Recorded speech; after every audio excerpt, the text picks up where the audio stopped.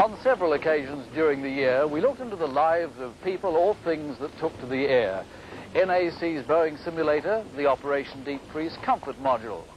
Then we made the astounding discovery that a Canterbury man may have been the world's first aviator, even before the Wright brothers. It is a late March afternoon, early this century.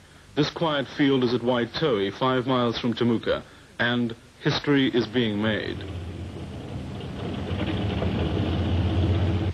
I seen him fly And where was that? in the paddock. In the paddock. Uh, it's very hard. If I, if I was only up there, I could show you where the where, where, where the shed was. This is what the late Amos Martin saw rising hesitantly above the hedges more than 60 years ago, one of the first powered flights in the world. At the controls of this flimsy network of wire and bamboo was a young farmer, Richard William Pearse, an intense man who, in the quiet seclusion of his isolated farm, and without any formal engineering training, had achieved one of man's ultimate ambitions, to fly. These are his plans, sketches which even today are remarkable for their precision, and yet he worked alone, with no help or no training. And then she rose about 10 foot in the air, 10 to 12 foot in the air. Hmm.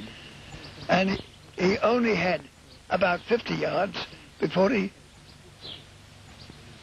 got to the gorse fence. And he actually crashed into the gorse fence. No, not him. The plane.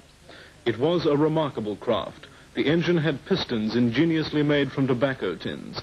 Pearse also designed and constructed ailerons or flaps long before other aviators perfected them.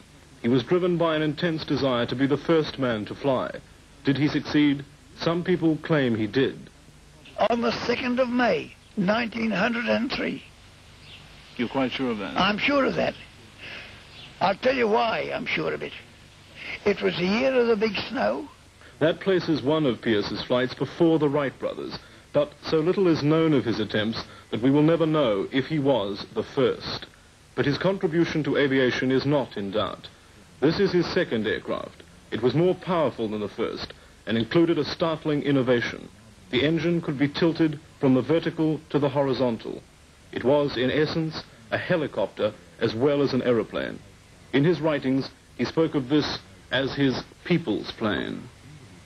How did you feel yourself when you saw this plane taking off into the air? Did you get a thrill? Well, yes, I got a thrill. And I also said, what a silly bugger he is. That's what I said to myself. Because he had absolutely no chance whatever of clearing the fence. No chance at all. Richard Pearse died in obscurity in 1953. This monument at Timaru Airport in a renamed street are the only visible evidence that in South Canterbury he made history.